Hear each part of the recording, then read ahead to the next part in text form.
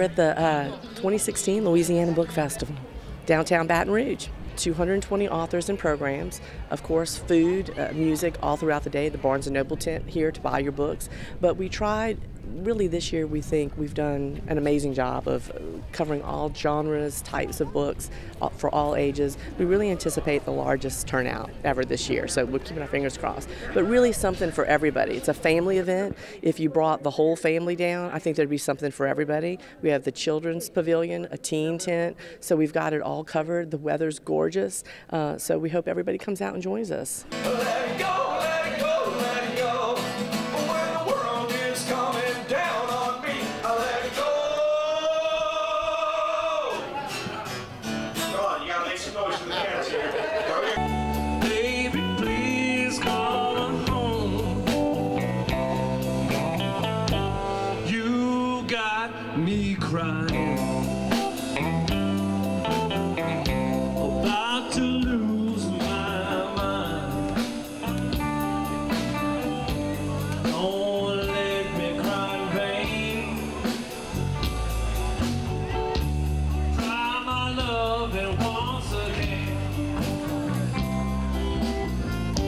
Book festival has got so many avenues. I'm excited to visit in those tents uh, seeing their books, hearing how they, they came up with their stories, and some of the research they did uh, is just incredible. They each have a unique way of writing and expressing those feelings and thoughts about what they write about. And it's really an incredible mix from kids' books to history books. It's just a great uh, personal stories. I'm just excited. We have so many writers here from all over the country uh, to share their uh, stories with us. We sometimes say we're not at the top of all those important lists, but this one we are. We have a rich literary heritage. We've got some amazing authors from Louisiana. We also have people that are inspired by Louisiana. But we believe engaging people, especially young people, early, uh, that reading is fun and important, that it helps us build that culture of literacy that we really have to have for our young people to be successful, get an education, stay in Louisiana, give back to the state, and be productive citizens. So we really think it starts young and with reading because it's the it's the foundation of everything. Oh, I come every year. I've been coming every year since they first started this thing. Uh, I always pick out a couple of authors that I want to meet and talk to. They always have uh, some interesting panelists uh, and learn a little bit about the publishing process because one day, I, you know, now that I'm retired, I have time that I might want to write a book myself. Uh, but uh, this year we've got some friends in from out of town, out of state, and this is the one thing I uh, wanted to bring them to. I've lost them this morning. I don't know where they are. I hope they're having fun and buying a lot of books. I've been coming about eight years and I love it. It is awesome, and I'm glad they're here down here in Baton Rouge. What's your favorite part of the book festival? Um, it's so much over here. I can't. I can't tell you. I really can't.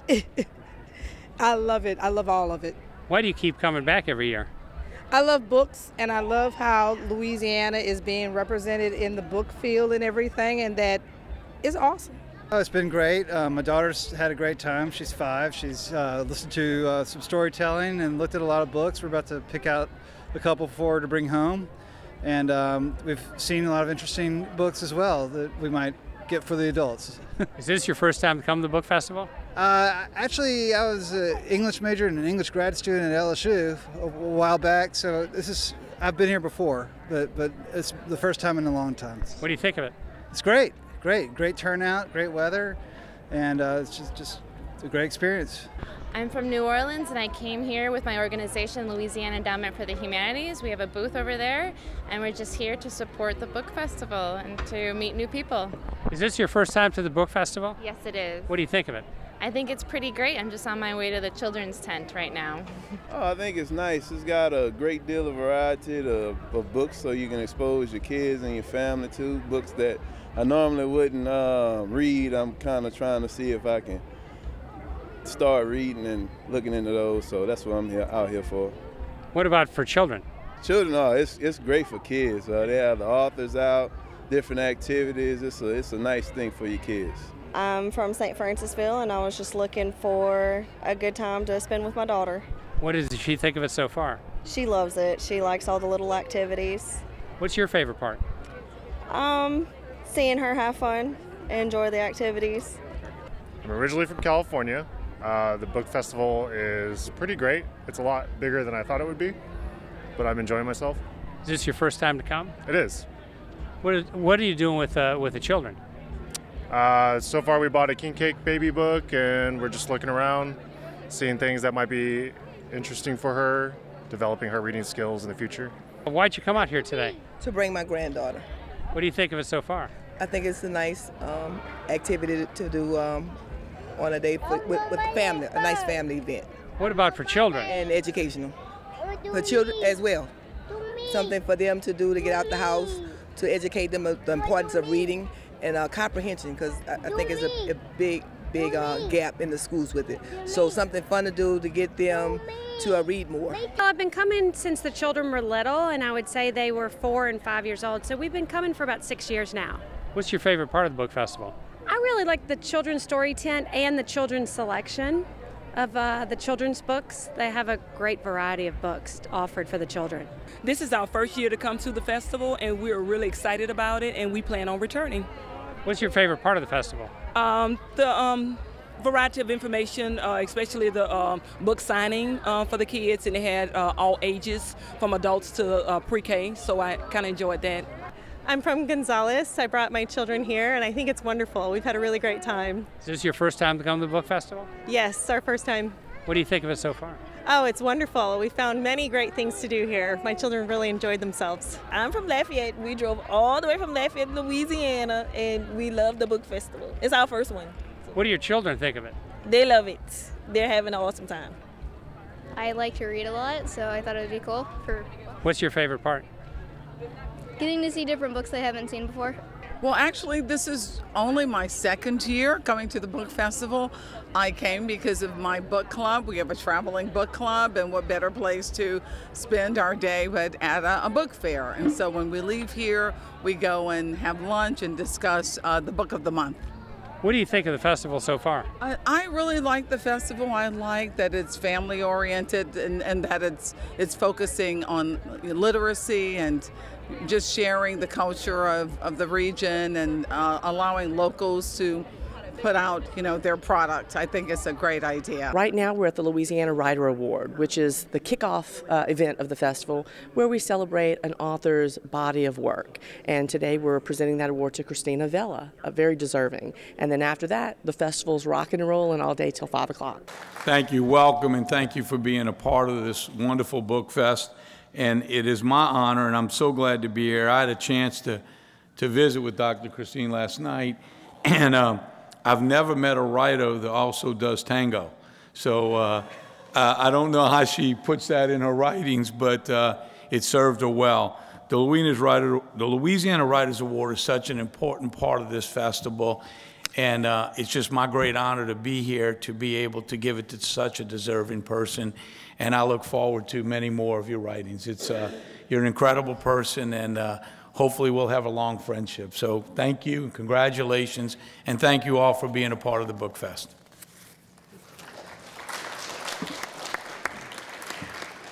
Good morning. I'm Rebecca Hamilton, the State Librarian of Louisiana. I see a lot of your faces in here every year, and I'm always pleased to see them. Welcome to the Louisiana Writer Award. I would like to begin by saying that I couldn't be more proud to have this Lieutenant Governor here with us during this special time in our history, as we expect the largest turnout ever at the Book Festival. You may have noticed at the party last night, it was a full house. We expect that today, too. Um, it's really that great turnout is due in great part to his amazing communications team and his hard work all across the state helping us to promote the festival farther and wider than ever before, and for his support of the special artwork that you see on your program and on the t-shirts. There's a lot that is special about today, and I want all of you to know that we could not have a stronger supporter for literature and literacy in Louisiana than Lieutenant Governor Billy Nungesser. We're honored to work with him and for him as we help Louisiana see her fullest potential. And now, for the reason we're here this morning. The Louisiana Writer Award is given annually by the Louisiana Center for the Book within the State Library to recognize outstanding contributions to Louisiana's literary and intellectual life as exemplified by a writer's body of work.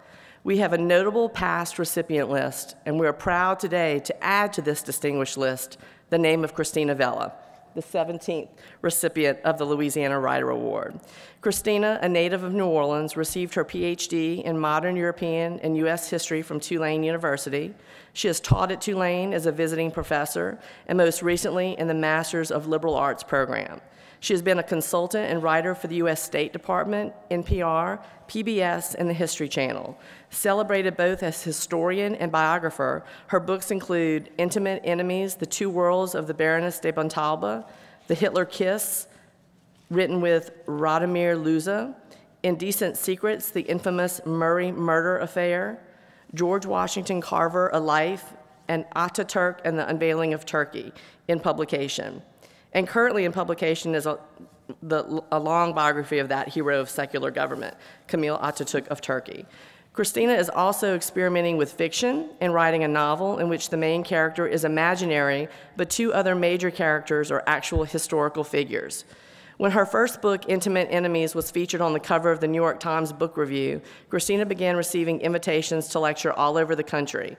She still enjoys lecturing to groups, conventions, and academic gatherings on a variety of topics in literature, Louisiana history, and world history. In fact, she has presented several lectures at previous Louisiana book festivals and is presenting another later today on the Bronte family, this year bringing the 200th anniversary of Charlotte Bronte's birth.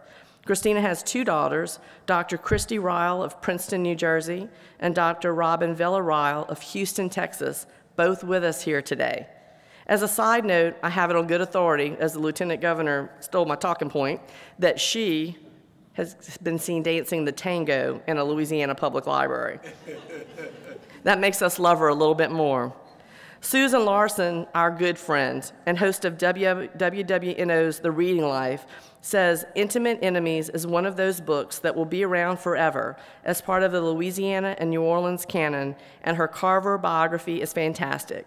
Christina is a writer who is generous and smart, and she is a great example of a scholar with an independent writing career. We're honored, Christina, to celebrate your writing accomplishments by presenting to you the 2016 Louisiana Writer Award.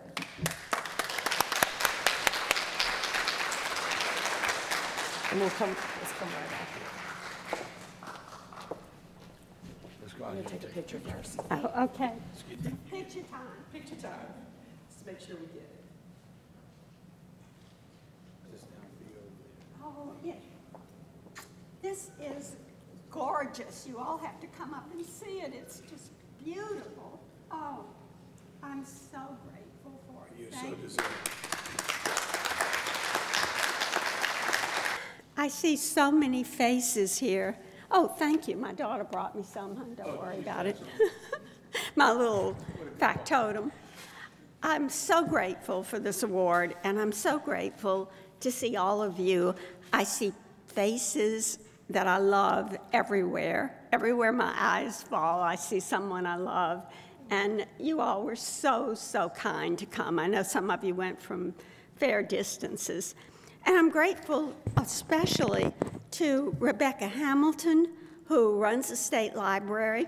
The State Library isn't just a name, it is the repository of so much that is precious to all of us. And this lady is responsible for keeping it and keeping it available to us. It's a research institution, it's a, an institution for common people to go and do research and to find books and to find everything. It's a wonderful thing. Uh, and before I leave somebody out, because you know, in the panic of these moments, you leave out one of the most important names, I want to thank Billy Nungesser, our lieutenant governor. I have it on good authority, very good authority, that Billy has been a driving force since the day he took office. He has supported this festival and the library in every way that he could. And you have no idea how important that is because you can have directors who have wonderful ideas and wonderful plans, and if they get cut down by the administrators, there's nothing they can do. Cut down by the legislature, they won't give them funding or this and that. And Billy Nungesser has just been a proponent of this and promises to be even more so. And I mean, who would know that this coon ass is such a such a proponent of, of you know everything that's important to intellectuals and to common people. This festival is not an academic uh, conference. It's for families. You go out there, and there's as much stuff out there for kids almost as there is for anybody. And there are cooking demonstrations, and there are uh, dance and song demonstrations, and storytelling, along with very important, serious books, and all day long, people giving lectures on those books. It's a great festival. Every state doesn't have a state book festival uh, only a few, and this is one of the best. And it's thanks to these people, to Jim Davis, to Robbie Wilson, who works for it, to everybody, to all these volunteers, these people with these golf carts and all that. They're volunteers. They've come to give up their weekend to do this for us. So it's just a, a great thing. I can't think of anything that deserves more support than this festival. We are not a state that's just about eating and jazz.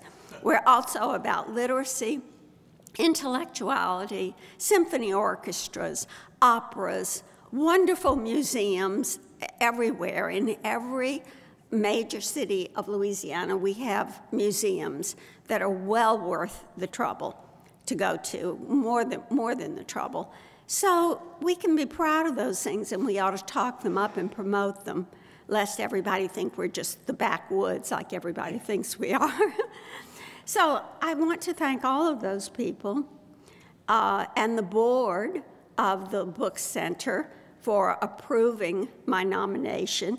There are so many good writers they could have given this to, and I'm so honored to be in the same, uh, not class, but the same group that honored Shirley Ann Jackson and Ernest T. Jones. My gosh, I mean, that's, that's quite an honor. It's very important when you're doing historical research to know exactly where the document is that you found something.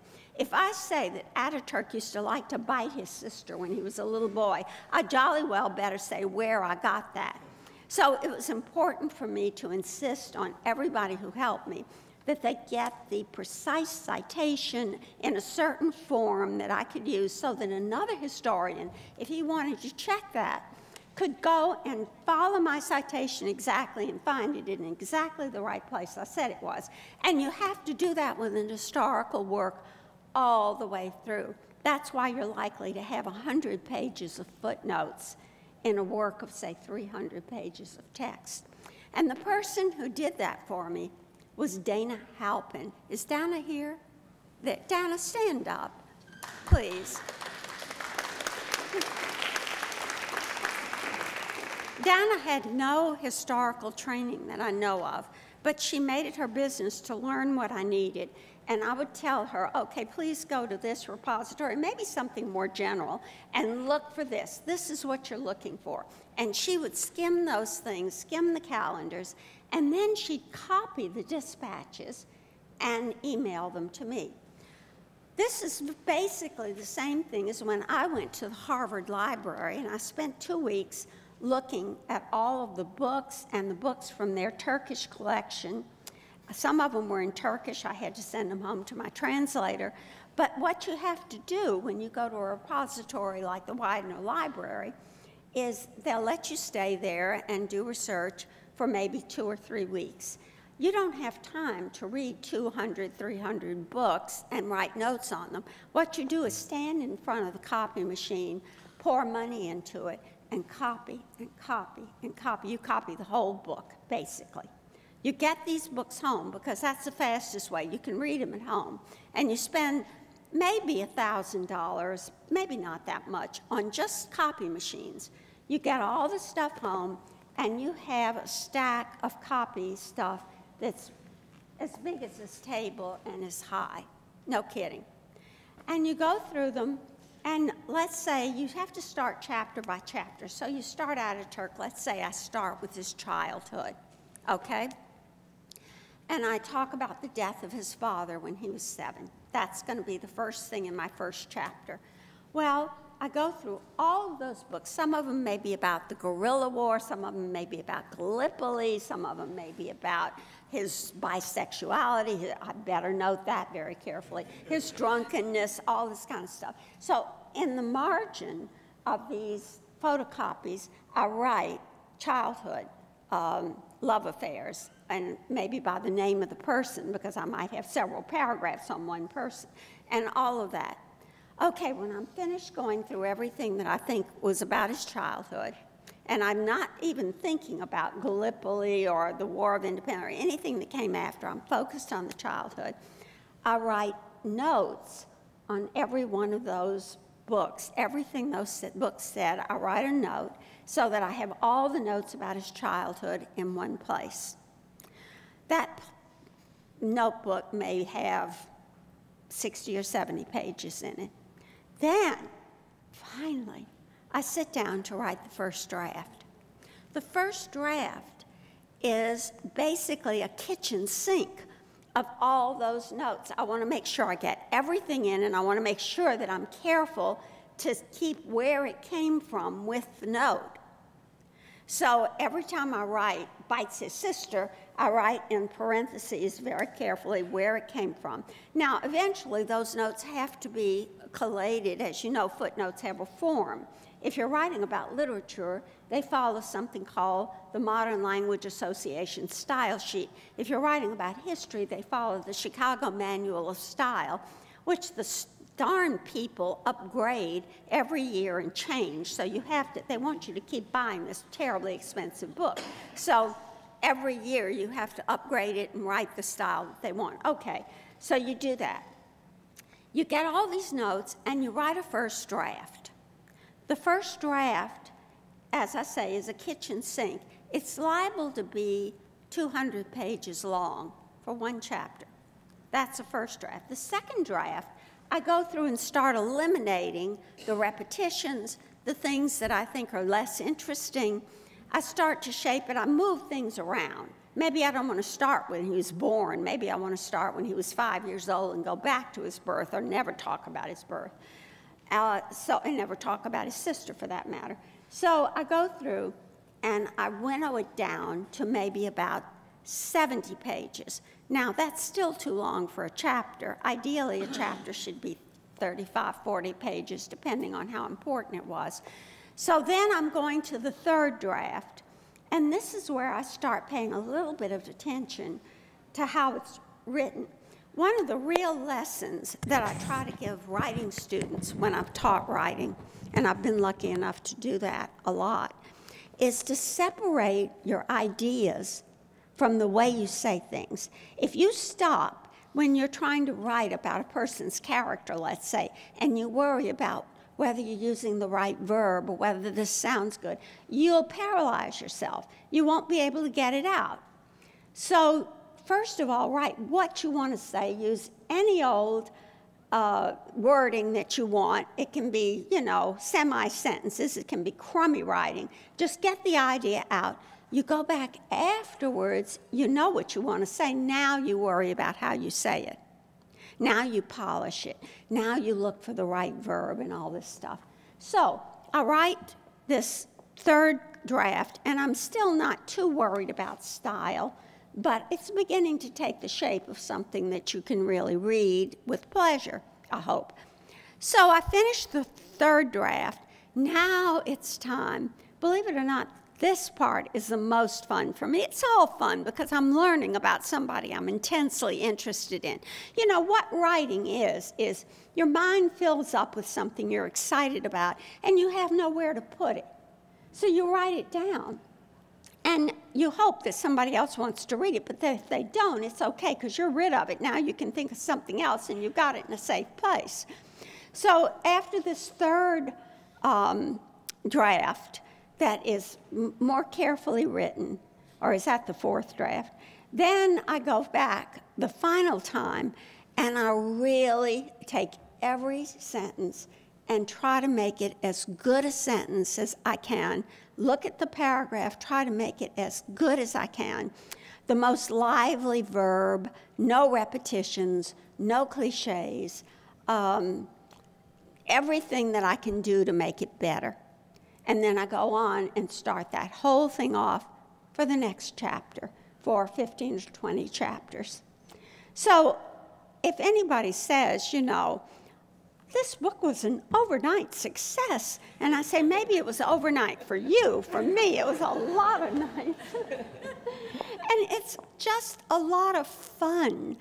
Um, historical writing to me, and I'm going to get in a lot of trouble for saying this, but what I've discovered since I've tried to write fiction, and I did write a screenplay and a couple of other fictional things, is that mediocre fiction is the easiest thing in the world to write to me. You just sit down, you spell something out. It's okay, it's passable, it's read- readable, and all you had to do was sit in front of the computer and just think it up, if you have an imagination, which I don't.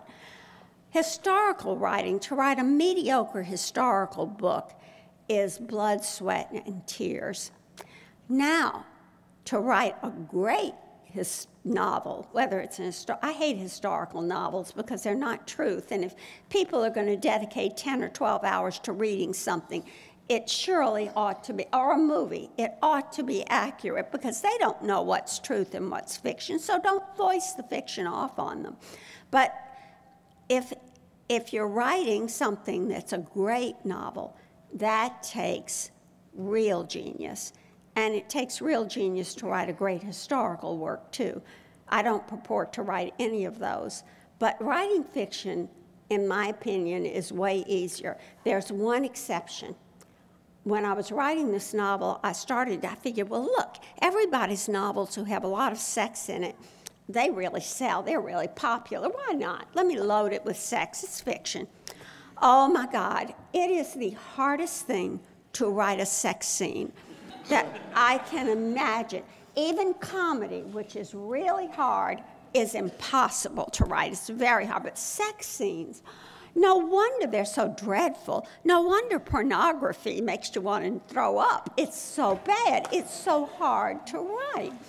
It is, I promise you, a thousand percent easier to have sex, even the first time, even in the most difficult circumstances, and to have it successful than it is to write the cheesiest sex scene you can imagine. so, anyway, all of this is to say that writing, uh, I'm very grateful for this award because writing has just been so much fun for me.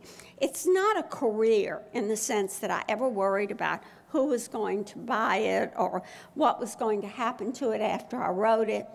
I wrote it with a reader in mind who is just like me, who understands me. So uh, somebody who would want to read this just as I would. And I try to write the kind of book that I myself would want to read and would praise afterwards. It has insulated me. I've, I've, always had to work for a living, so writing was on the side. That's another reason it's not a career. I never made my living from writing, not even the best, uh, the most successful book. Um, it's always been an insulation from the tribulations of life whatever was going on around me, I sat down, started working. Once, you know, if you're in the habit of working, it's just work. All that stuff that I described to you is just tedium. But it keeps you from thinking about the myriad other problems that we all have. And you're talking about somebody's life. He may have lived or she may have lived a long time ago, but these were real lives. This is reality. This is as good as fiction because it exposes First of all, what life was like when this person was alive, you can't help but find it out. And then what goes on in the interior lives of these famous or infamous people, and you find out, man, it's the same thing that goes on in my life. I'm connected to the human connection, to the human uh, community. So when I'm reading and doing this research, I'm peopled, my imagination is peopled with others, not with myself, not with my own problems. It's actually kept me from being a to- I'm getting a signal back there, okay. We're not going to have a question and answer, by the way. Does that give me a little more time? Well, when I found out, I was just humble. I couldn't believe I was getting an award that Shirley Ann Grau and Ernest T. Gaines had gotten. I was just overwhelmed, and I thought, couldn't they find anybody better than me? But I was very grateful. What does writing mean to you? It means being able to be removed from the real world of problems and going into a magical dream world in a way that is also real, but it's not my reality. What's your opinion of uh, Louisiana literary? Louisiana is a very literary state. It's interesting. Mississippi and Louisiana, which get no credit for anything, have fantastic writers. We have both states have a wonderful literary tradition and many great, great writers. I wrote a book called The Other Side of the Painting, and it is based on uh, my husband, George Rodrigue, and also our life together, uh, immersed, if you will, within the arts, which it always has been. Um, it's funny, it's romantic, it's also full of quotes. I, I was constantly writing down notes with him uh, the 20 years that we were together. Uh, and um, it's a, a real tribute to him. It was published in 2013 by Mhm. UL Press. Uh, normally, of course, here at the book festival, they're premiering new books. What happened was, though, we were supposed to premiere the book that fall together in 2013, George and I. He designed the cover, he designed everything about it, uh, chose all the images for it, the shape of it, everything. Um, but it wasn't to be. And so the book festival has been asking me every year since if I would come back. And I this year kind of emerged from my hole and am, back and premiering the book uh, because it's the right thing to do by George and for the people of Louisiana, in my opinion. I have seven published.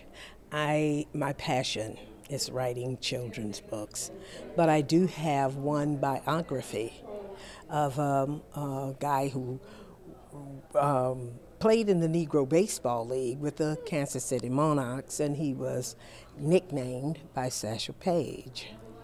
So, but the other uh, the other books are children's books. My first book is a series book, and I just wrote the second in that series.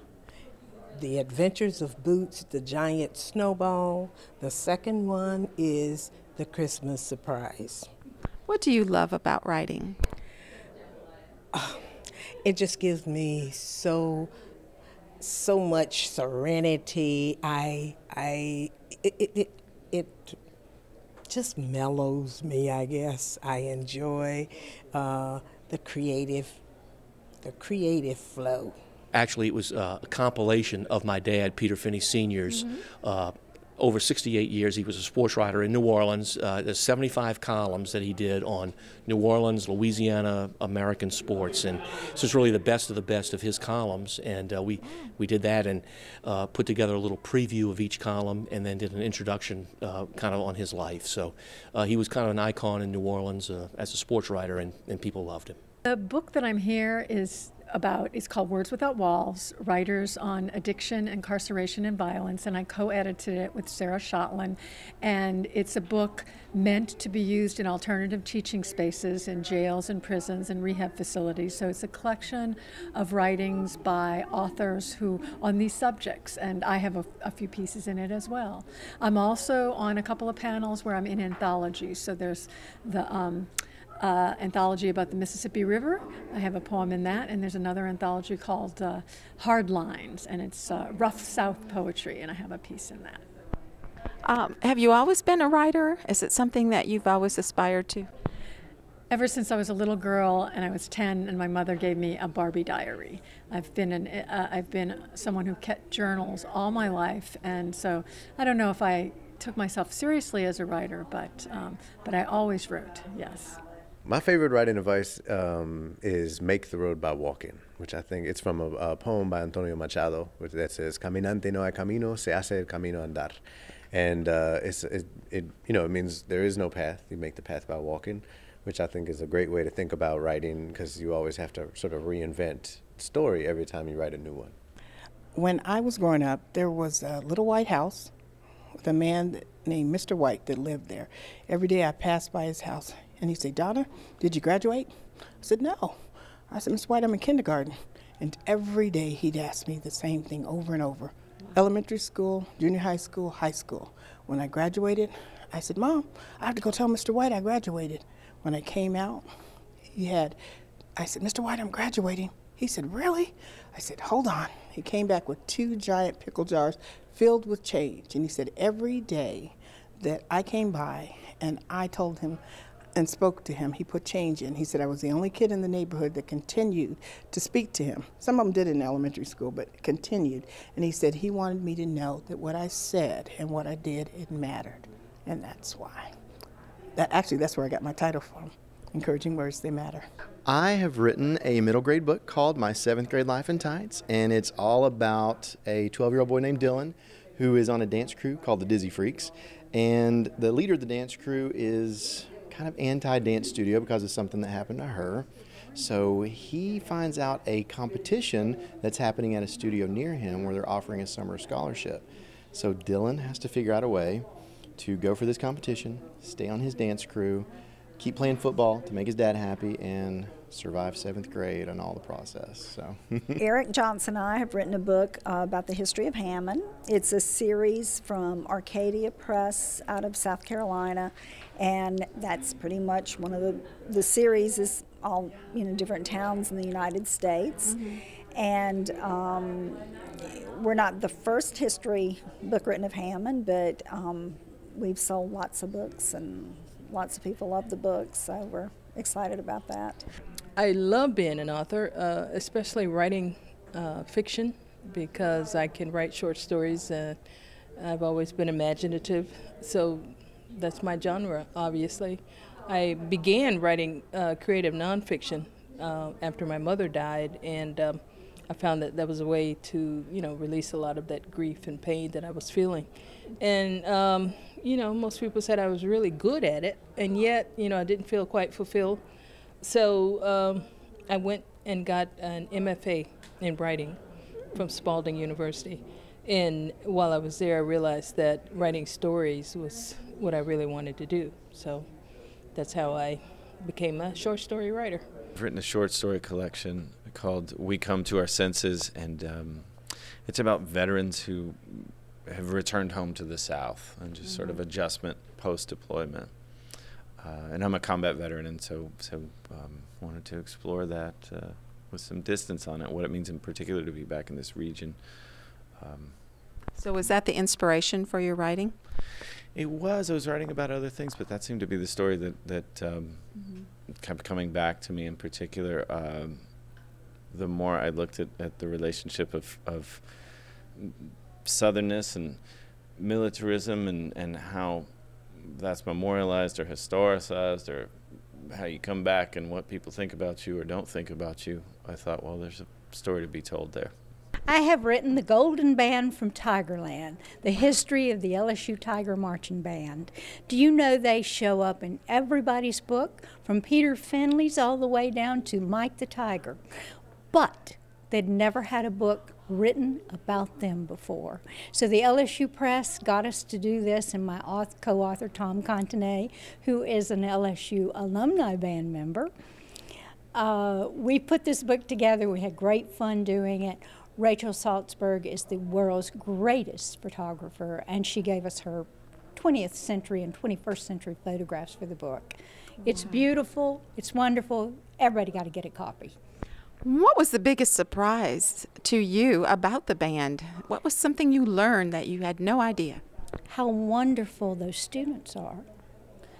You have no idea how hard they work. I didn't and I was on the LSU campus for 30 years.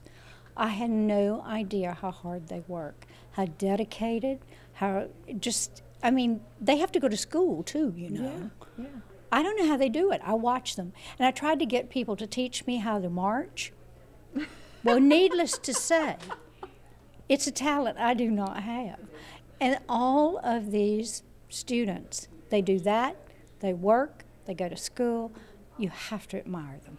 Okay, my novel is called The Infinite. it comes out in two weeks actually, and uh, it's going to be in the book tent. This will be the first time I've seen the book in the wild. Wow. So I'm excited about that. The Infinite uh, is a novel about a couple characters, young characters, one of them from New Orleans, one of them from Mexico. Um, they meet in New Orleans and fall in love, and um, and the young woman um, gets pregnant, and her father sends her back to Mexico, and the boy sets out on a on a road trip to try to visit her. Meanwhile, her return trip home gets hijacked amid some violent circumstances. She's trying to survive. He's trying to see her. Um, Wow. Yeah. A book right now that just came out with LSU Press is called Military Aviation, a photographic history, and it covers all of the Gulf Coast uh, from Texas to Florida, uh, Louisiana as well. But it's a history of the last hundred years of military aviation in the area, and uh, there's a lot of neat stories that people aren't aware of. For instance, all of the training that the military does is all on the Gulf Coast. One of my favorite parts of the stories is that prior to World War II, they put a lot of emphasis on uh, designing the, the military air bases with a little bit of local culture. For instance, you'll have Spanish uh, colonial architecture in Texas.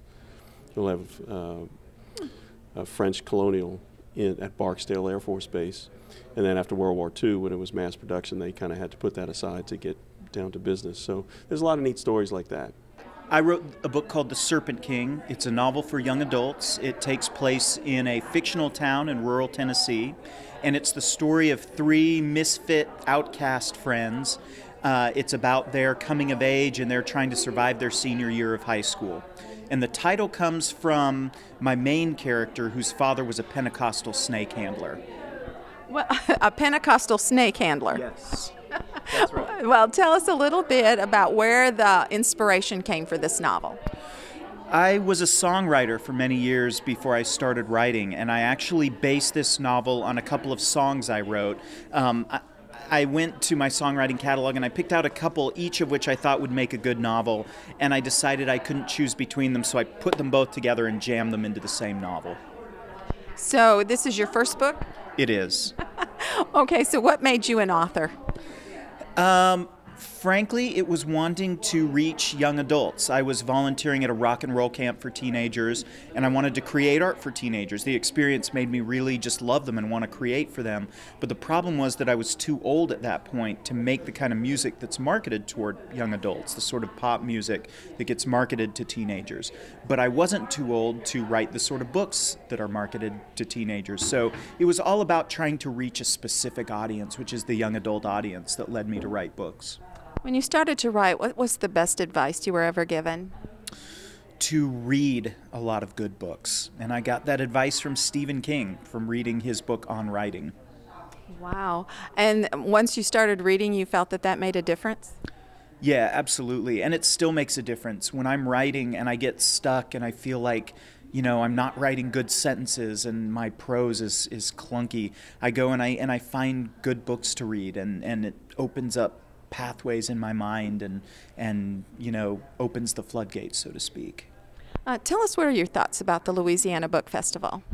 I think the Louisiana Book Festival is awesome. I this is my first time at the festival. It's it's my debut novel, so I haven't been here before, but it seems absolutely wonderful and it's gorgeously run and uh, Sky Norwood has been wonderful and Jim Davis has been wonderful and I just couldn't be more excited to be here. It's Fair Labor Lawyer. It's the story of Bessie Margolin, who was raised in New Orleans Jewish orphanage and became one of the most influential lawyers of the 20th century that no one's ever heard of. She was a mentor to me, and I've my goal is to write her back into history.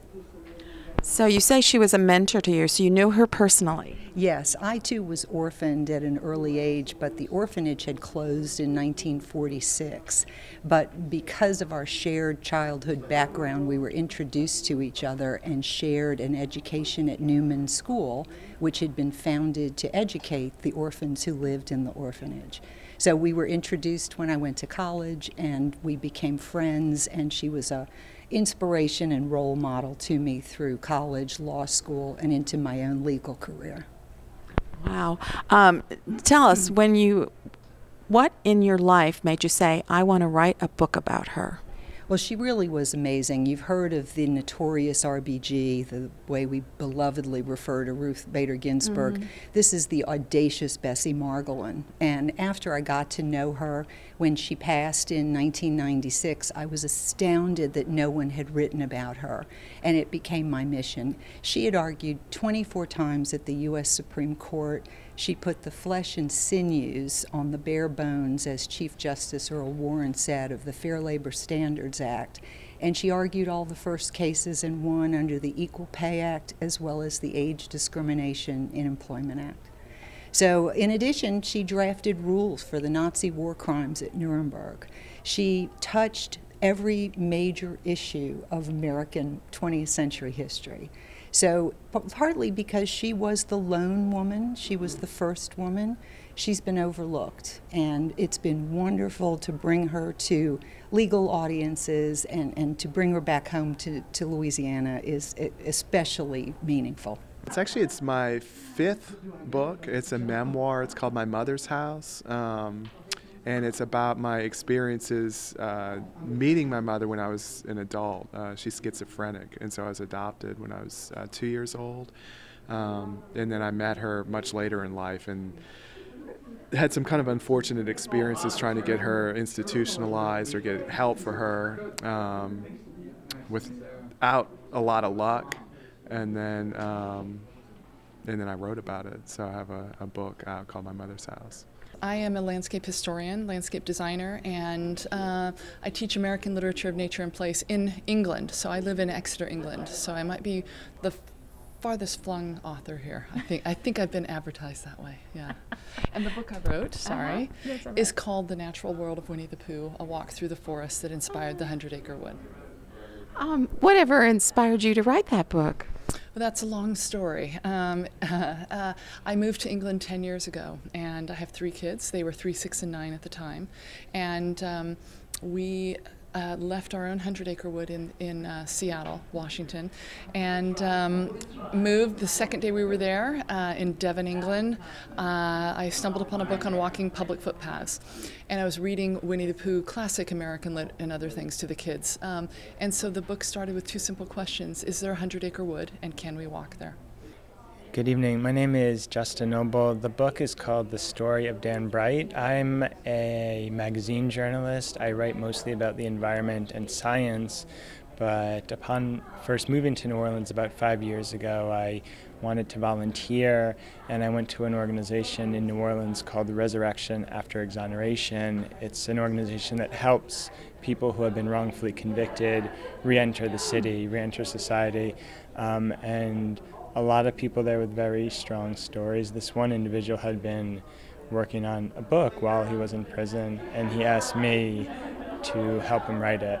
Um, and that was Dan Bright, and it took about four years, um, a lot of hard work, both of us collaborating and really working to get that story out and make him feel comfortable in getting that story out. Uh, What was the number one thing you felt you learned by that experience?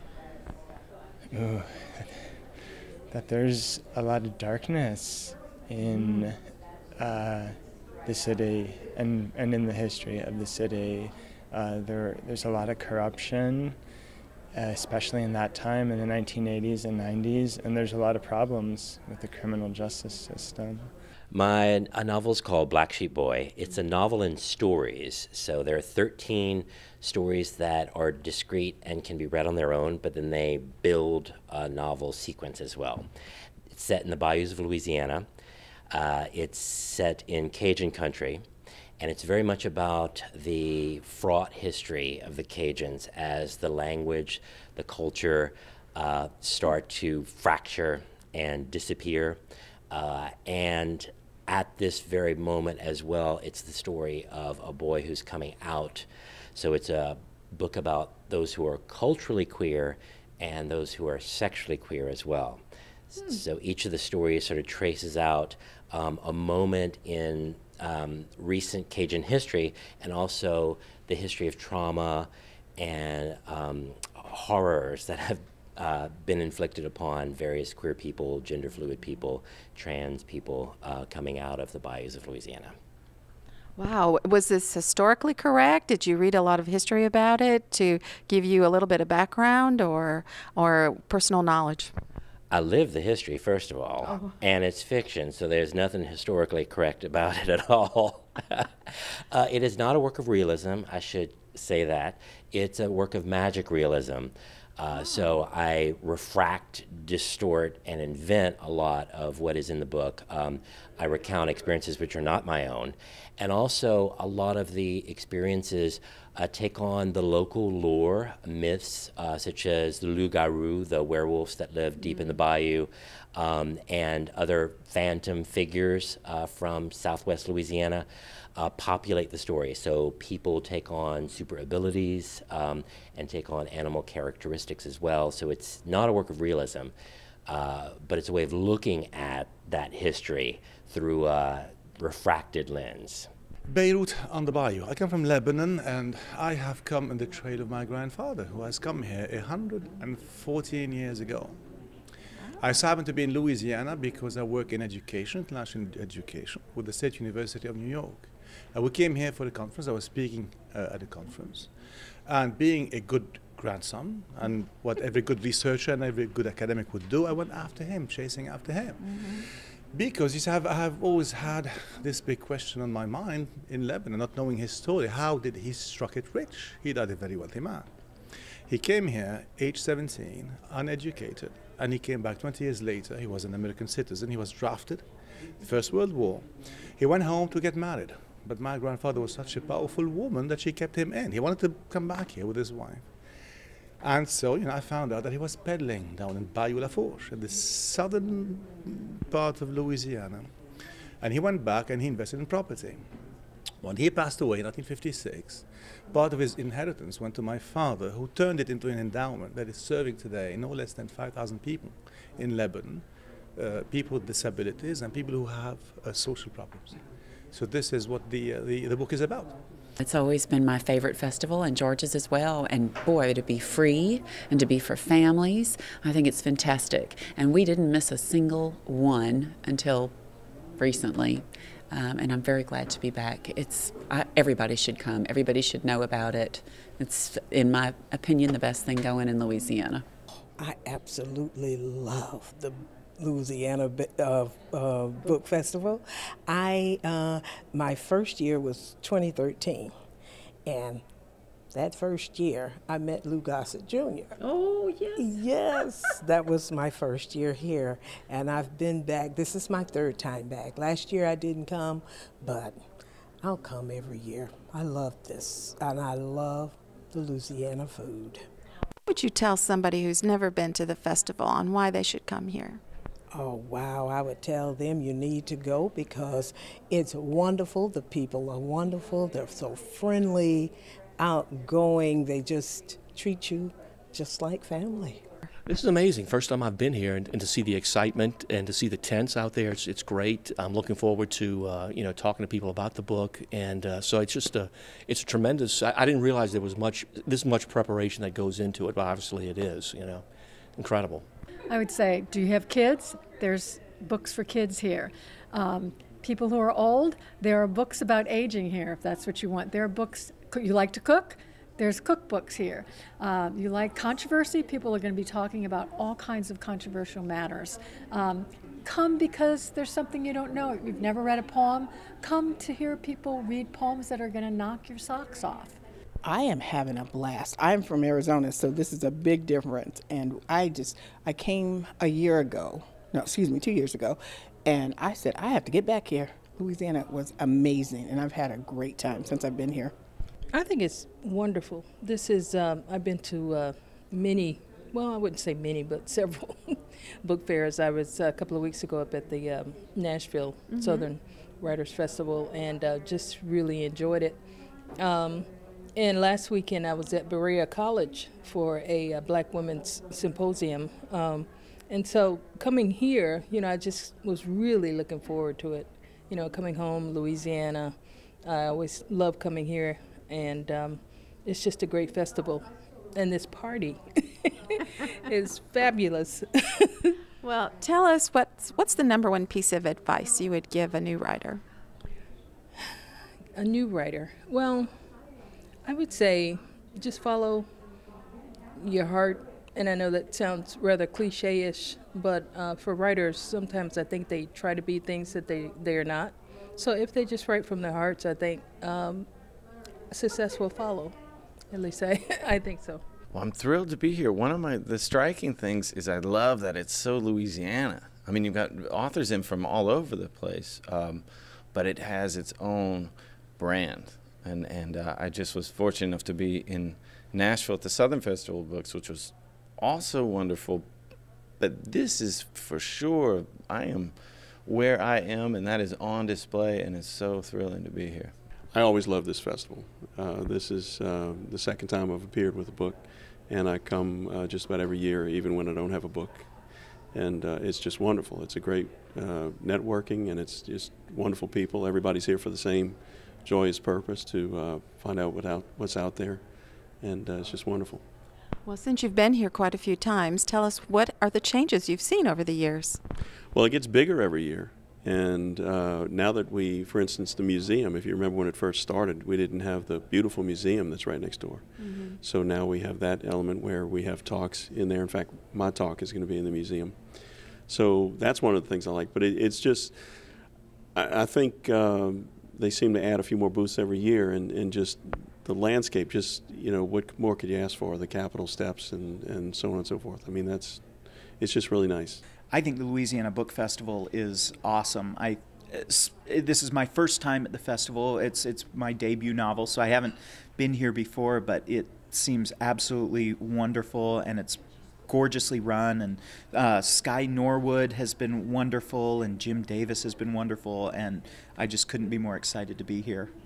This is a fabulous free show for families that want their children and themselves to have access to the most wonderful literacy and literature there is in our state. It is it's one of the best things Louisiana does.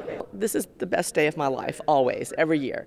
Uh, it's important to me to see the people milling around the Capitol, um, which you know the average person can't just come in and out of. Uh, and we have use of the beautiful chambers and all the committee rooms, and we see people being excited about being here and about books, and that says something. If people have questions like more information about the book festival, what should they do? They can go to our website at www.louisianabookfestival.org.